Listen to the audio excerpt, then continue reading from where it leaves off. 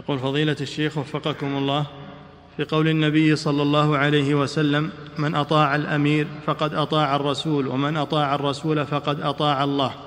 هل يدخل الأمير في السفر في هذا الحديث؟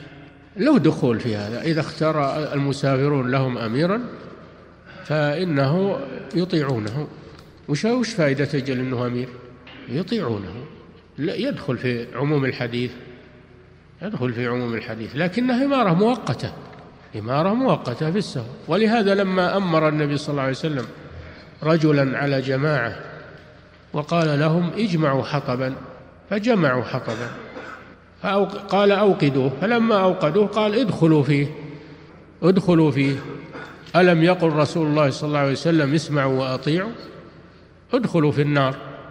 فتشاوروا بينهم يقول إحنا ما إحنا ما أطعنا الرسول إلا إلا لأجل الفرار من النار. كيف ندخل أنفسنا في النار؟